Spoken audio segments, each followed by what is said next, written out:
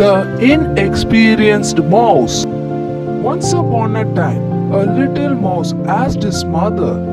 Mother, let me go out, see and the world. The mother mouse said. Good child, but be careful. The mouse came out of his hole and started walking. He saw a colorful cock. As he had never seen a cock before, he got frightened by the sharp beak, colorful feathers, and the red crown of the cock. He ran away thinking, what a horrible creature. After some time, he came across a pussy cat. What a soft animal, he thought. So handsome food and striking eyes. When he returned home, he explained his day's visit to his mother. The mother said, The cock is really harmless, but the soft cat is really enemy. Moral of the story Outward appearance or deceptive. Hope you enjoy this section.